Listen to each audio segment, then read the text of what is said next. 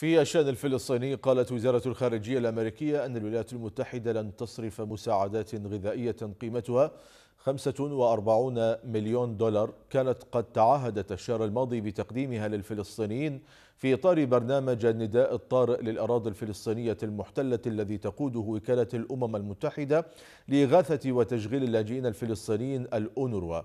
وذكرت المتحدثة باسم الخارجية الأمريكية هيذر ناورت أن الولايات المتحدة أوضحت للأونروا أن المساعدات كانت مجرد تعهد يهدف لمساعدة الوكالة في التوقيع والاستشراف وليست ضمانة مكفولة.